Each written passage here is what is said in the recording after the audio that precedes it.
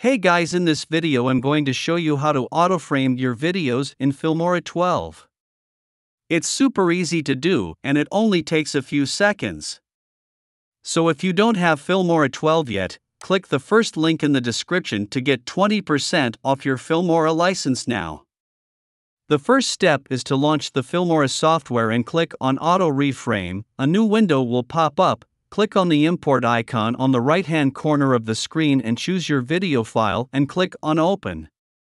The next step is to choose what aspect ratio that you want to reframe your video at. Let's say we want to use this clip on Instagram. I'm gonna pick the aspect for Instagram, 1 ratio 1, then leave the motion speed as auto and click on Analyze.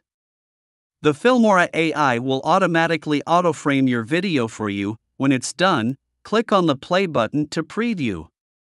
With the auto-frame, you don't need to manually try to motion track your video, which can be time consuming when it's a longer file, but with the new AI auto reframe, it takes just a few seconds to achieve.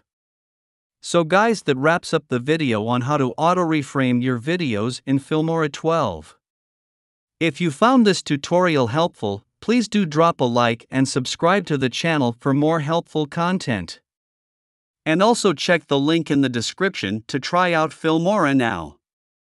Also guys, if you are interested in the text-to-speech voice I used in this video, check the first link in the description box below or pinned comments section to get 50% off your purchase using the discount code provided. That's all for today and see you guys on the next video. Peace.